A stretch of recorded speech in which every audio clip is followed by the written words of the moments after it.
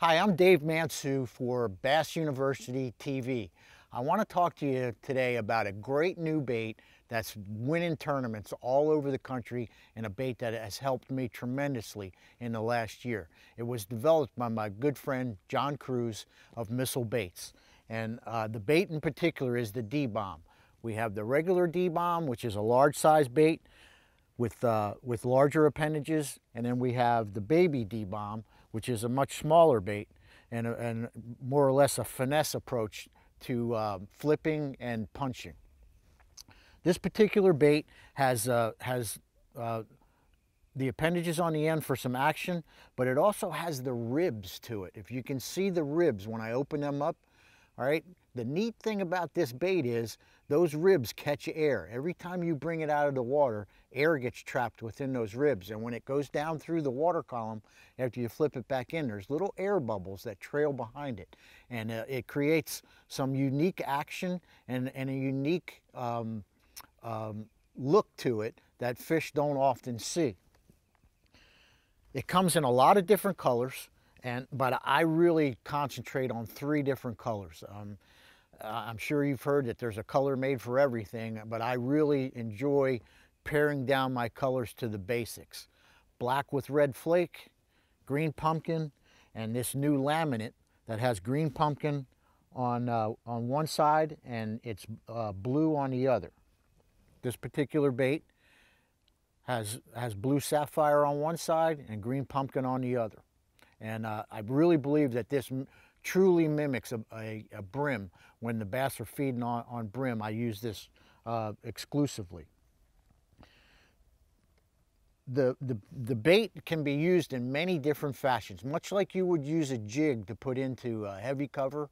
Um, you Texas rig it, you can flip it into wood, you can flip it into grass. I use it with a heavy weight to punch grass. Um, there's a lot of different applications to it, but it's catches big fish. Just a few years ago, Ish Monroe won on Lake Okeechobee, uh, flipping the, the, the D-bomb into the reeds. Just this past January, Chad Morgenthaler won on Lake Toho, fishing the baby D-bomb, um, caught all his fish flipping into matted and heavy grass and pads on, on the baby D-bomb. It catches big fish proven by the fact that Chad came in with over 22 pounds on the final day when no one else could catch more than 15. The bait itself is really easy to rig. You can adjust the weight uh, any way you want to. You can throw it on a quarter ounce, a three eighths ounce, a half ounce, a 3 quarter, all the way up through to a 2 ounce, uh, which is what uh, Chad was using on Okeechobee in, in many situations this past January. Um, it's simple to, to, uh, to rig.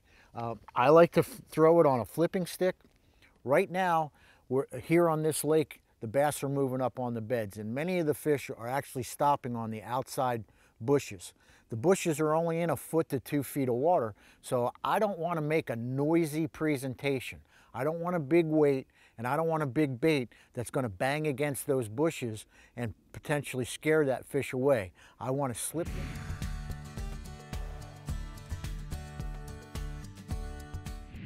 Welcome to Bass University TV, an online video training course where you'll learn champion bass fishing techniques from pro anglers Pete Gluszek, Mike Iaconelli, and their talented special guests. From on the water to in the classroom, you'll learn sound techniques and strong fundamental bass fishing skills. Watch hours of video content on multiple topics at your own pace for a low monthly fee. Cancel at any time. Information is power in the sport of fishing, so learn from the very best. Subscribe to Bass University TV today.